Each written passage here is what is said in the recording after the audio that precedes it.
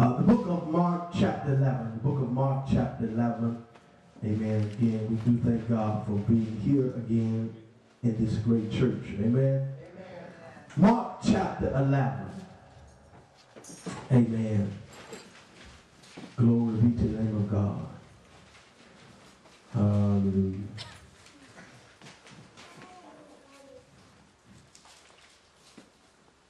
I got a book that I'm writing called Manifestation Time. And in this book, I'm talking about three principles that the Lord gave me that will bring the church into manifestation. He said, when there is a spirit of revelation, revelation comes to unveil or release a tool in which we should work with. When there is revelation, then there is something that we have to do after God reveals something to us. We have to take the initiative the, the initiation to move upon what God revealed. And when we take the initiative, then we're going to see a manifestation of the revelation. Amen. So you got to get a revelation of what God is doing in this set hour. Amen. But I want to talk tonight. I want to awaken some callings in here tonight. I believe that if our calling awakens, then we will turn every city upside down. For so long, it's only been the preachers that understood their call.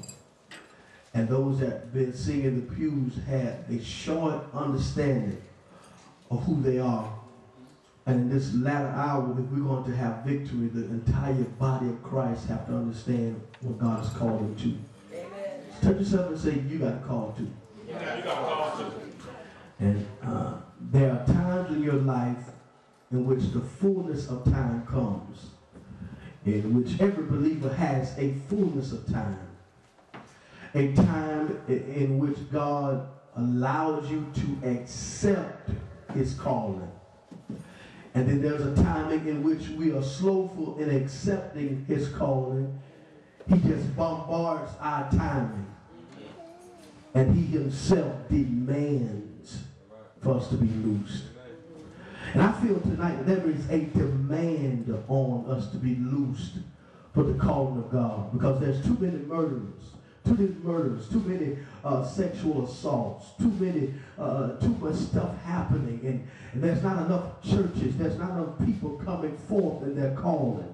We're seeing more sin and we're seeing more disaster. We're seeing more pain and we're not seeing more of church the church that, that, that, that, stays in the church and in the presence of God for so long a time, we're not seeing the church come forth and manifest what God has imparted into our lives. Amen. Amen.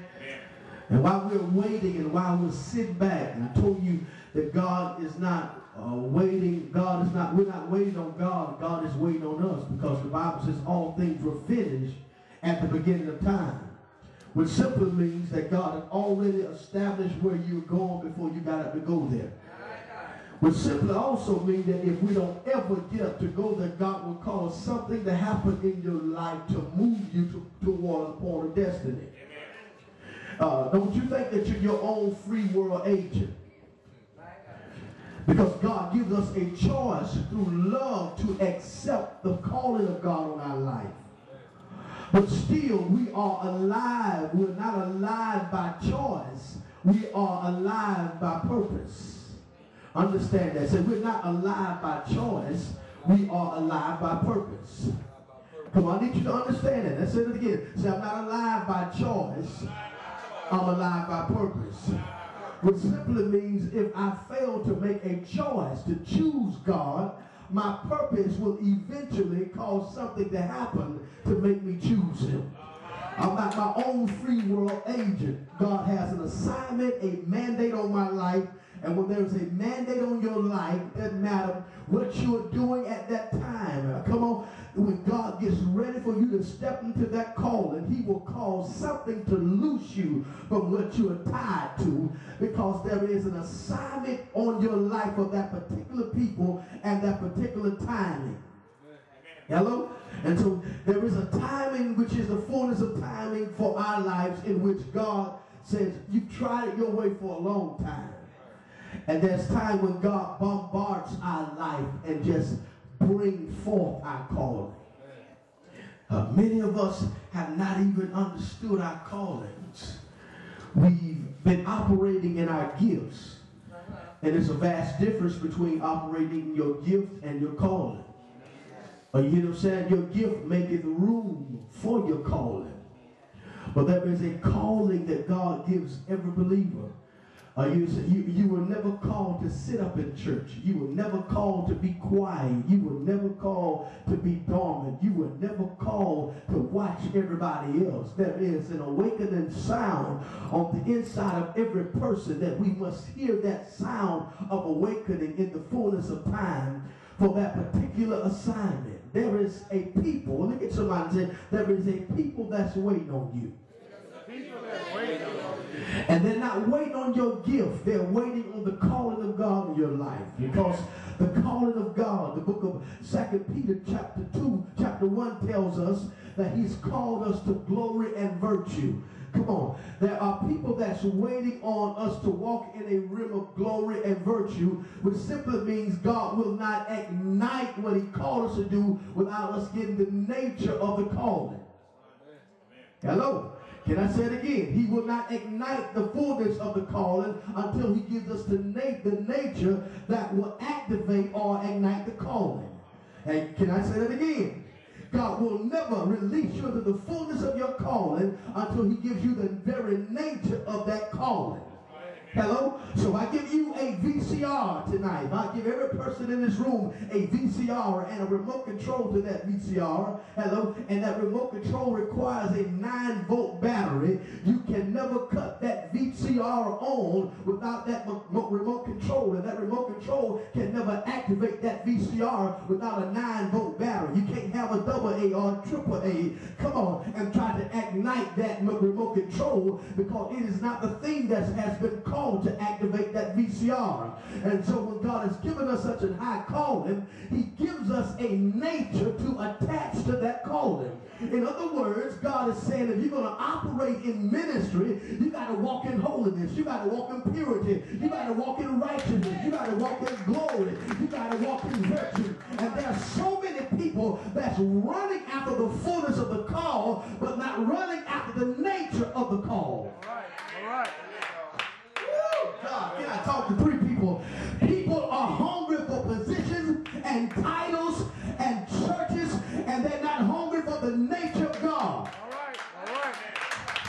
And that's why we got a whole bunch of bootlegged preachers and a whole lot of, a bunch of bootlegged apostles, uh, folk who just want to be in charge,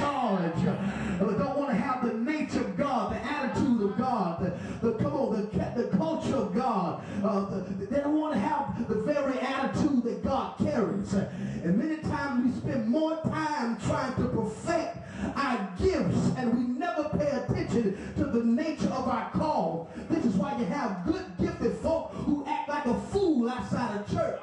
All right. All right.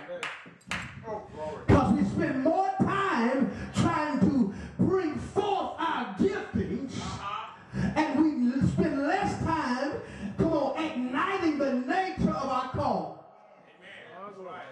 Which simply means this, that God's anointing has been called to activate your giftings. Praise God.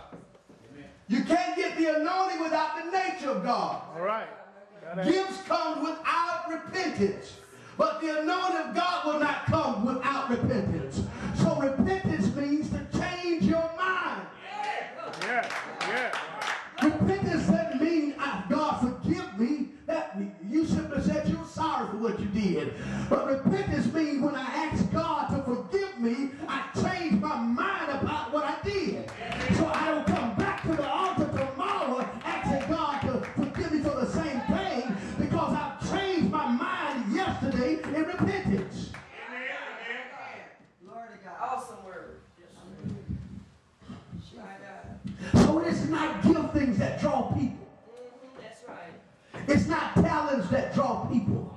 It's the anointing that draws. Right. That's right. Amen. It's the anointing that breaks the yokes of bondage. And can I tell you something about a yoke? A yoke was a equipment that tied the two oxen together.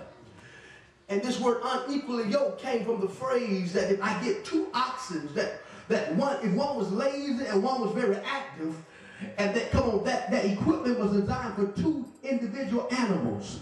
If one was very active and one was very inactive, they would be unequally yoked because the machine wasn't designed for an active and an inactive person. It was designed for two active folk. And anytime you could be you could be in church unequally yoked with believers. You could be a whole round of whole bunch of inactive believers.